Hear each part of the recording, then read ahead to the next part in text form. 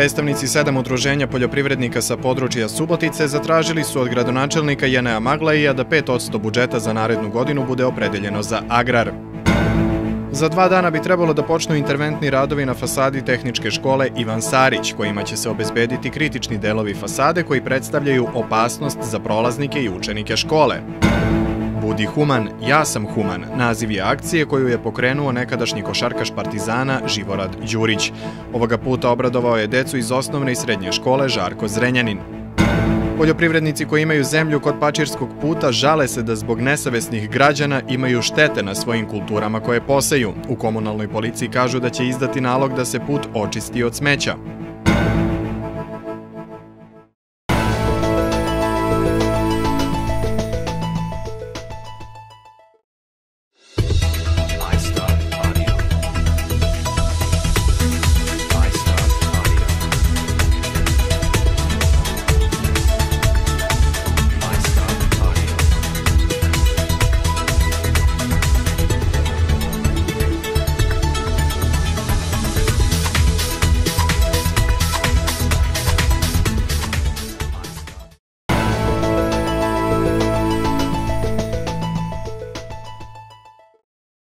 Dobroveče, poštovani gledaoci. Ja sam Boris Šuman, a vi pratite Infoblok U Eko televizije. Predstavnici sedam udruženja poljoprivrednika sa područja Subotice zatražili su od gradonačelnika Jenea Maglaija da 5% budžeta za narednu godinu bude opredeljeno za agrar. Osim ovog, poljoprivrednici su izneli još dva zahteva, da se svo zemljište stavi na licitacije i da se preispita takozvana crkvena zemlja, odnosno da i njihovi predstavnici uđu u sastav Komisije za izradu godišnjeg programa za korišćenje, uređenje i zaštitu državnog poljoprivrednog zemljišta. Kako je na današnjoj konferenciji za novinare izjavio predstavnik sedam udruženja poljoprivrednika Miroslav Kiš, u Subotici je aktivno oko 6500 registrovanih poljoprivrednih gazdinstava, od kojih njih oko 5000 obrađuje do 5 hektara zemljišta, a ovim sredstvima omogućilo bi se njihovo podsticanje kroz odobravanje nepovratnih sredstava u interesu razvoja poljoprivrede. On je naglasio da ovaj zahtev nema i ne treba da ima nikakve veze sa sredstvima koja se prikupljaju na osnovu izdavanja državnog poljoprivrednog zemljišta, jer su ona strogo namenska, kao ni sa Fondom za razvoj poljoprivrede, jer su u pitanju krediti. Takođe je rečeno da su zbog nedostatka strategije razvoja poljoprivrede, koja je u fazi izrade, lokalnoj samoupravi dostavljeni primjeri dobre prakse iz nekih drugih lokalnih samouprava koje imaju ovaj vid podrške poljoprivrednicima. Moramo imati budžet Ako imamo budžet, onda moramo imati plan, da li je to strategija ili e, mi ne kažemo da to mora biti na 20 godina, ali ako nemamo za godinu, dve, tri, e, smatramo da je to nešto što ne sme da nam se dogodi i mislimo da je sad trenutak i mi tražimo, znači, i želimo podršku svih poljoprivrednika i javnosti da grad Subotica nađe e, i narad, lokalna samu, ova, skupština razumevanje i da izdvoji para Na konferenciji se obratio i član gradskog veća zadužen za poljoprivredu Šimon Ostrogonac, koji je izrazio razumevanje za zahteve poljoprivrednika i obećao da će u narednom budžetu biti izdvojeno više sredstava za poljoprivredu. Upitan koliko su realni zahtevi poljoprivrednika u situaciji kada će budžet samo zbog izmena seta poreskih zakona u narednoj godini biti u startu za desetak odsto manji u odnosu na ovogodišnji, Ostrogonac je izjavio da ne može da govori o konkretnim ciframa jer je izrada budžeta u toku i ponovio da će za poljoprivredu biti opredeljen veći veći iznos. U toku je izrada budžeta, ja mogu samo da obećam da će biti puno veći iznos izdvojen nego što je to do sad bilo. Sad, da li će to biti 10, 50 ili 100 miliona u ovom trenutku, ja to ne mogu ni vama da kažem, pošto verovatno svi vi znate, kako, kao što ste i rekli, da je grad u prilično teškoj situaciji što se tiče budžeta. Sledeći sastanak na ovu temu zakazan je za sredinu januara, a na njemu će prema najavama učestvovati i sam gradonačelnik Maglaji. Direktor udruženja Žita Srbije Vukosav Saković izjavio je da je za pet meseci od 1. jula do kraja novembra izvezeno milion tona pšenice, što je apsolutni rekord Srbije. Ovo je godina u kojoj možemo da se pohvalimo izvozom pšenice i očekujemo da će biti izvezeno između 1,3 i 1,4 miliona tona do nove žetve, rekao je Saković agenciji Beta. Uz to što izvoz žitarica i uljarica ove godine ide znatno bolje nego prethodne, pored pšenice, oboren je i rekord u izvozu suncokreta. Izvezeno je oko 130.000 tona suncokreta, što predstavlja znatan napredak jer se do sada izvoz te uljarice kretao maksimalno do 20.000 tona, rekao je Saković.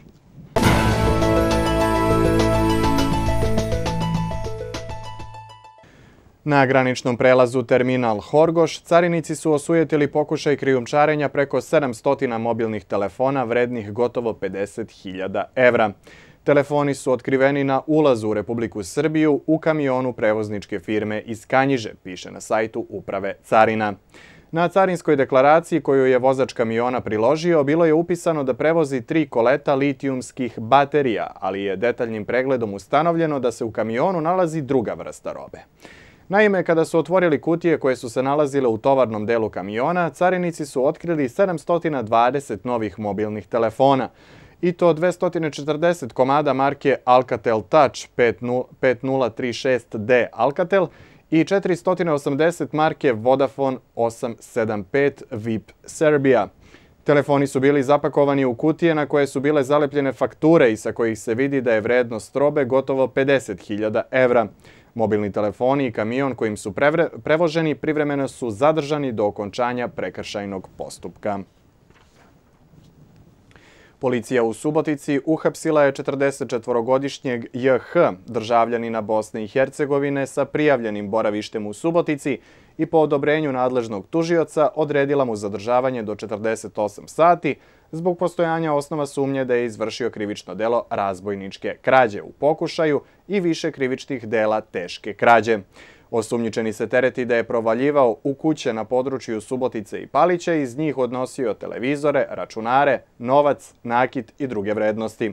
Policija je jedan deo protivpravno prisvojenih predmeta pronašla kod JH, uz potvrdu oduzela i vratila oštećenima. Nakon zadržavanja, JH će uz krivičnu prijavu biti predat u nadležnost osnovnom javnom tužilaštvu. A pripadnici policijske uprave u Subotici uhapsili su i 33-godišnjeg ŽK iz Subotice i po odobrenju nadležnog tužioca odredili mu zadržavanje do 48 sati zbog postojanja osnova sumnje da je izvršio dva krivična dela prevare, pričinivši materijalnu štetu od oko 125.000 dinara. Osumnjičeni se tereti da je početkom decembra oštetio dve osobe. Sumnja se da je ŽK u prvom slučaju od oštećenog preuzeo muzički instrument uz obećanje da će ga prodati prema nepoznatom kupcu, a zatim je klavijature prodao na buvljaku, a novac potrošio za svoje potrebe. Takođe, postoje osnovi sumnje da je u drugom slučaju osumnjičeni od oštećenog uzeo violinu, ali nije uspeo da je proda. Nakon zadržavanja, ŽK je uz krivičnu prijavu predatu nadležnost osnovnom javnom tužilaštvu.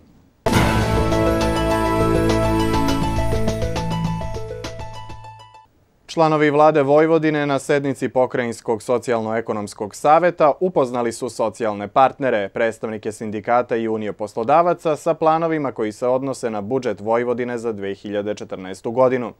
Prema rečima pokrajinskog sekretara za privredu, zapošljavanje i ravnopravnost polova Miroslava Vasina, na ovaj način je socijalni dijalog u Vojvodini dobio na kvalitetu, jer će sindikati i poslodavci imati mogućnost da upute svoje predloge i sugestije pre nego što se budžet donese. Pokrajinski sekretar za financije Zoran Radoman rekao je da nacrt pokrajinskog budžeta nije do kraja definisan. S obzirom na to da je Skupština Vojvodine utvrdila amandmane na predlog zakona o budžetu Republike Srbije za narednu godinu, tek nakon usvajanja republičkog budžeta znaćemo da li ćemo pripremati odluku u budžetu Vojvodine ili o privremenom finansiranju, rekao je Radoman. Pokrajinski sekretar za privredu, zapošljavanje i ravnopravnost polova Miroslav Vasin predstavio je planove tog sekretarijata istakavši da će između ostalog u budžetu ostati programi za podstica i zapošljavanju, kao i podstica i malim i srednjim preduzećima i preduzetnicima. Nema mnogo manevarskog prostora za promene statuta Vojvodine, jer šta god da se napiše u statutu, to će biti odbačeno, izjavio je predsednik Lige socijaldemokrata Vojvodine Nenad Čanak. Gostujući u emisiji Medija Sres na našoj televiziji, Čanak je izjavio da je pitanje statuta pitanje odnosa u vladajućoj strukturi, te da je potrebno izmeniti Ustav Srbije i to tako da Vojvodina u njemu dobije tačno precizirano mesto i tačno precizirane nadležnosti. U suprotnom, Čanak ne vidi kako drugačije da se bori, nego nastaviti na fonu traganja za istinom u međunarodnim institucijama. Po pitanju mogućnosti vanrednih izbora, Čanak je rekao da su oni veoma mogući jer izbore pravi onaj ko je na vlasti, a misli da mu je vreme da to valorizuje. Za pokrenu ne znam apsolutno. Za Republiku mi se čini da je dosta moguće da budu. Zbog toga što mi se čini da je da Vučić mora da valorizuje svoj, svoj visok rejting. Jer rejting mu neće rasti. Da, on ide do jednog... To ide do neke mere, a onda staje. I ovoga trenutka, ja lično mislim da je razborito da, se, da, da budu neki izbori. Samo kroz nova ulaganja u proizvodnju Srbija ima šanse da izađe na kraj sa ekonomskim problemima, izjavio je predsednik Ujedinjenih regiona Srbije Mlađan Dinkić u Ođacima. Dinkić je prilikom posete kompaniji Magna, koja je u Ođacima uz državne posticaje otvorila fabriku u kojoj trenutno radi 350 radnika, Rekao da je zaposlenje jedini način da ljudi osiguraju svakodnevnicu i budućnost i da zato treba nastaviti sa posticajima za investicije i omogućiti što više ulaganja ne samo u Ođacima, već u svim regionima Srbije. On je dodao da će do januara u toj fabrici koja se bavi proizvodnjom presflaka za sedišta za automobilsku industriju ukupno raditi 450 ljudi i dodao da će time biti ispunjen investicioni plan kompanije Magna u Ođacima, gde u poslednjih nekoliko godina otvoren, ostvaren veći broj investicija i to zahvaljujući izgradnji i opremanju industrijske zone i podsticajima za direktne investicije iz programa SIEPE. Jedino kroz ulaganja u investiciju u proizvodnju, Srbija ima šanse da izađe na kraj sa ekonomskim problemima. Jer ako ljudi nađu posao, to je jedini način da imaju sigurnost i budućnost. Tako da treba nastaviti sa posticajima ovakvim investicijama i omogućiti što više investicijama, ne samo ovde u Ođacima, nego u svim regionima Srbije. Ministar financija Srbije Lazar Krstić najavio je da će pokrenuti radnu grupu za izradu zakona o finansiranju Vojvodine kako bi se rešio taj, kako se izrazio, sistemski problem. Namera je da budžet za 2015. radimo sa novim zakonima o budžetskom sistemu, o finansiranju lokalne samouprave i finansiranju Vojvodine, rekao je Krstić na Skupštinskom odboru za financije, koji razmatra više od 170 amadmana na predloženi državni budžet za 2014. godinu. On je time odgovorio na primjedbe predstavnika Skupštine Vojvodine i poslanika opozicije u Skupštini Srbije da se ovogodišnjim budžetom ne poštuje ustavna odredba da budžet Vojvodine iznosi 7 ukupnog budžeta Srbije.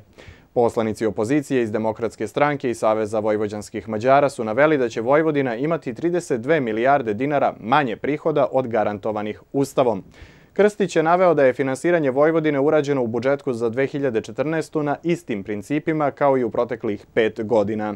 Radna grupa za izradu zakona o finansiranju Vojvodine formirana je u novembru 2012. godine. Na njenom čelu je bivši ministar financija i privrede Mlađan Dinkić, čiji Ujedinjeni regioni Srbije više nisu u vladajućoj koaliciji.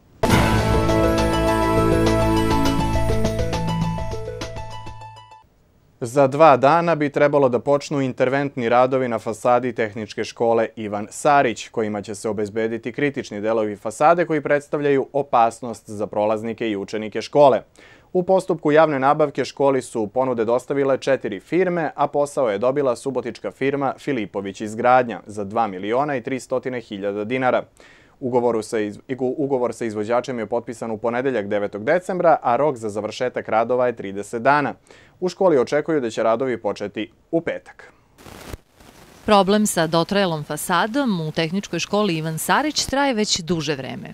Uprkos tome što nije najbezbednije prolaziti pored škole i kretati se po dvorištu ove obrazovne ustanove, đaci redovno pohađaju nastavu.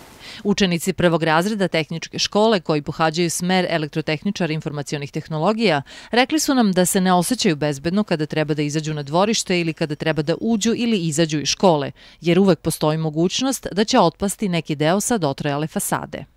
Pa pazio sam da ne idem na blizu tog određenog prostora, blizu zidova, da, se, da pazim kuda se krećem po školi, da ne bi bilo tih problema, da ne bi nešto se desilo. Pa da, nikad se ne zna kad će nešto da padne, tako da nemamo čistu bezbednost da znamo kad može svakog trenutka nešto se odvala, inače ova škola bi bila veoma dobar arhitektonski objekat kad bi bila fasada dobra. Pa naravno postoji neka doza straha ovaj, među nama, da li će nešto pasti, šta će se desiti, uvek postoji to prelaženje na drugu stranu ulice da bi izbegli to i tako, ali ništa nas nije sprečilo da e, upišemo ono što volimo. U ponedeljak 9. decembra Tehnička škola Ivan Sarić potpisala je ugovor sa subotičkom firmom izgradnja Filipović, koji je poveren posao na interventnim radovima na fasadi. Izvođač radova ima rok od 30 dana da postavi stubove ispod balkona sa spoljašnje strane fasade, da ukloni dotrajale ornamente sa fasade i da postavi drvene nadstrešnice iznad svih ulaza u zgradu škole. Prvi posao izvođača biće da ogradi školu i to ogradom visine 2 metra sa ulične strane koja mora biti udaljena 2 metra od zida i 5 metara sa dvorišne strane. Izvođač će za interventne radove na fasadi dobiti 2 miliona 300 hiljada dinara. Pretpostavljam da ćemo u petak već videti prve e, radove. E, počeće se sa ograđivanjem škole, iza toga treba da se obije taj najviši deo zgrade do kojeg nismo dohvatili kada smo dva maha skidali e, mater koji je već počeo da, da koji se odvojio od zgrade, od zida. Naravno, svi ovi radovi bi trebali da budu izvedeni po planu, međutim, ako bude neko jako nevreme, snežna mećava ili jake kiše, onda će se malo to usporiti pa će doći do nekakvih odlaganja. Tokom prošle godine građevinski inspektor utvrdio je 566 mesta na kojima se žbuka odvojila od podloge i koja preti da otpadne i tada je školi naloženo da obije malter ili sanira fasadu. Fond za kapitalna ulaganja autonomne pokrene Vojvodine obezbedio je sredstva neophodna za sanaciju najkritičnijih delova fasade. Budi human, ja sam human. Naziv je akcije koju je pokrenuo nekadašnji košarkaš Partizana Živorad Đurić sa ciljem da pomogne najugroženijoj deci u Srbiji. Ovoga puta obradovao je decu iz osnovne i srednje škole Žarko Zrenjanin sa donacijom koja će u narednih stotinu dana obezbediti užinu deci od prvog do četvrtog razreda. Deca su kao zahvalnost za donaciju pripremila kratak program i poklonila Živoradu nešto od onoga što su oni napravili. Živorad Đurić, poznati kao Žica Maradona, prvi put je pomogao deci iz ove škole kada je pre nekoliko godina slučajno na paliću sreo profesorku koja je vodila decu na kratak izgled i poželao da donira nešto novca kako bi profesorka počastila decu. Nekoliko godina kasnije, odnosno danas, došao je u osnovnu i srednju školu Žarko Zrenjanin i pod okvirom akcije Budi human, ja sam human, koju već duže vreme sprovodi širom Srbije, donirao određenu sumu novca. Danas ponosno stojim pored te prelepe dece i želim da se probudi sportsko srce svih ljudi koji mogu da odigraju ovakvu utakmicu bez razmišljanja koliko je težak dinar koji je u njihovom džepu. Želim da sve ono što su dobili od svog učitelja, nastavnika, svog trenera, danas postanu oni treneri i podele sa svojom decom. I zato neću stati sa ovom mojom akcijom Budi human, ja sam human, upravo želići da u svakom gradu pronađem bar nekoliko sličnih meni koji mogu sigurno da odigraju ovakvu utakmicu i bit će pobednici pred svojim gradom, svojom decom. Od 133 učenika u ovoj osnovnoj školi samo 81 dete dobija besplatnu užinu, dok se za ostatak dece moraju prikupiti novčana sredstva. Na svu sreću, po rečima direktorke škole, uvek se nađu ljudi dobre volje koji pomažu kako školi, tako i deci. Živoradova donacija pomoći će školi da se deci od prvog do četvrtog razreda koja nemaju pravo na besplatnu užinu, ona obezbedi. Pa znate, kogod dođe u ovu školu, nekim povodom, e, kad upozna našu decu, e, uvek se ponovo vraća, tako se desilo sa našim današnjim gostom. E, bio je jednom, došao je danas i ja verujem da će u onaj krug, široko krug prijatelja naše škole e, da bude i u buduće. Škola ukupno ima oko 300 učenika, gde je veliki broj dece iz siromašnih porodica i potrebno je svakog dana obezbediti bar po jedan obrok za decu. Od pre dve godine grad je obezbedio besplatnu uženu za svu siromašnu decu u školi, ali to je trećina od ukupnog broja dece. Zbog papiroloških problema koje određeni roditelji siromašne dece nisu uspeli da ispoštuju besplatnu užinu, nisu dobila sva deca koja imaju pravo na to. Za njih, kao i za ostale učenike, donacije poput ove znače više od svega. Znače obrok na dan. Sutra će u zgradi nove opštine u sali 5 biti održan okrugli sto pod nazivom za priprema za primjenu novog zakona o prekršajima. Organizator je USAID Srbija u okviru projekta za reformu pravosuđa i odgovornu vlast u saradnji sa Severnobačkim i Zapadnobačkim upravnim okruzima i prekršajnim sudovima u Subotici i Somboru. Okruglom stolu će prisustovati predstavnici policijskih uprava u Subotici i Somboru, predstavnici inspekcijskih službi Republičkog, pokrajinskog i lokalnog nivoa, koje će sudije prekršajnih sudova u Subotici i Somboru upoznati sa nizom značajnih izmena zakona o prekršajima koji će se primjenjivati od 1. marta naredne godine, a naročito u delu podnošenja zahteva, odnosno izdavanja prekršajnog naloga.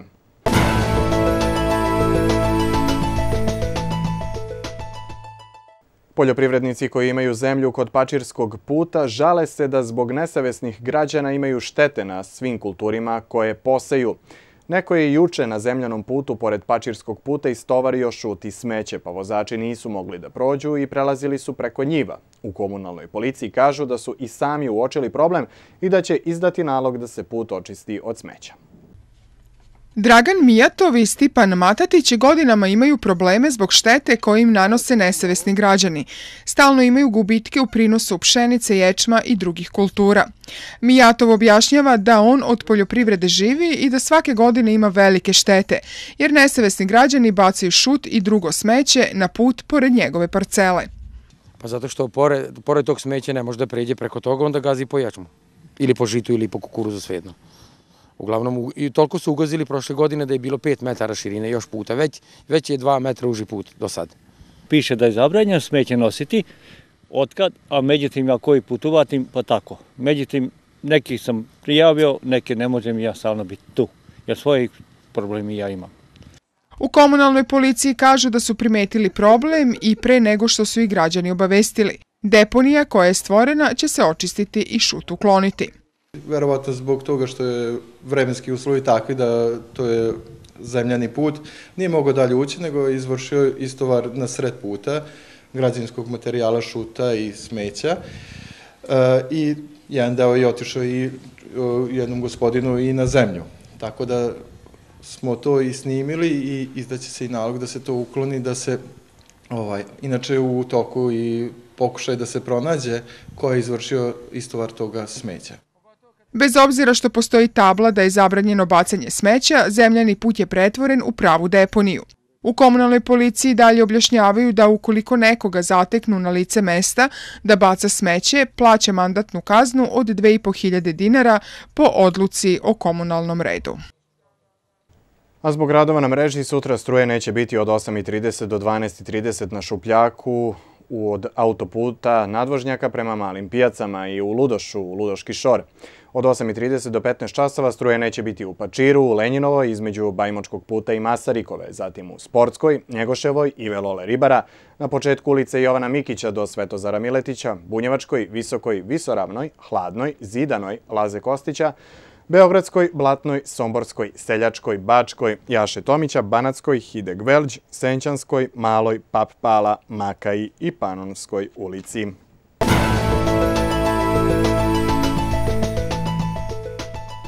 Slede minuti posvećeni sportu. U odloženom meču osmog kola Super lige, devojke Spartaka sutra u hali sportova od 19 časova igraju protiv ekipe Crvene zvezde. Ove dve ekipe se dobro poznaju i između njih nema tajni, tako da smo sigurni da će ovaj duel ekipa koja bude manje grešila i više želela pobedu osvojiti prvenstvene bodove. Ali mislim da je ključ ovaj, ove utakmice e, velika motivacija, raspoložene sve igračice što, koje, što na terenu, što ovaj, u izmenama, da u svakom trenutku mogu da pomognu i sa dobrom atmosferom, opet sa taktikom koju ćemo ispoštovati, koju, smo, koju ćemo spremiti do, do četvrtka. Ako to se ispoštujemo, mislim da, da nemamo čega da se plašimo i da utakmica možda bude jako zanimljiva i da opet bude u našu korist. Tim Damira Petkovića u prethodnom kolu gostovao je u Kragujevcu i bez većih problema pobedili su ekipu Smeč 5 sa maksimalnim rezultatom. Subotičanke su trenutno na drugom mestu na tabeli, ali igračice Spartaka imaju motiva više kada se sastaju sa šampionkama države. Sutrašnja utakmica igra se u hali sportova od 19 časova. Zna se da u ekipi Ratka Pavličevića igraju dve bivše igračice Spartaka, Adela Helić i Jelena Trnić. Biće svakako čudno, možda ne toliko teško koliko čudno, pošto igramo na domaćem terenu, a mi smo do sad zaista ovih godina zajedno odigrali dosta utakmica protiv Zvezde, zajedno sa uh, Adelom Helić i Jelenom Trnić, tako da svakako... I poznajete njihovu igru. I poznajemo njihovu igru, da. Kao i one vaše. Kao i one naše, tako da će biti, bit će čudno. Posle meča sa Crvenom zvezdom, igračice Spartaka za dane vikenda očekuje utakmice Užicu protiv ekipe Jedinstva, koja se ove takmičarske sezone bori za opstanak u ligi.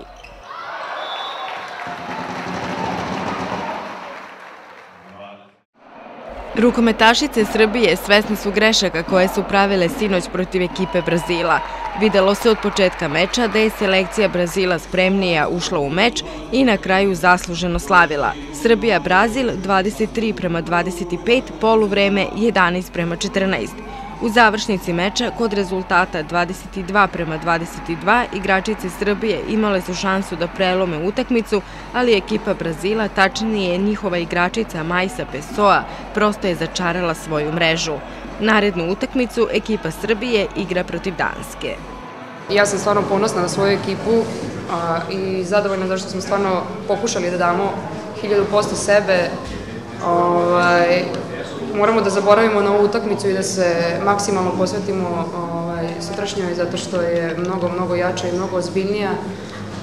Ovaj, sve čestitke ekipi Brazila i nadamo se ovaj, da će sutra biti nešto bolji rezultat i malo više u našu korist.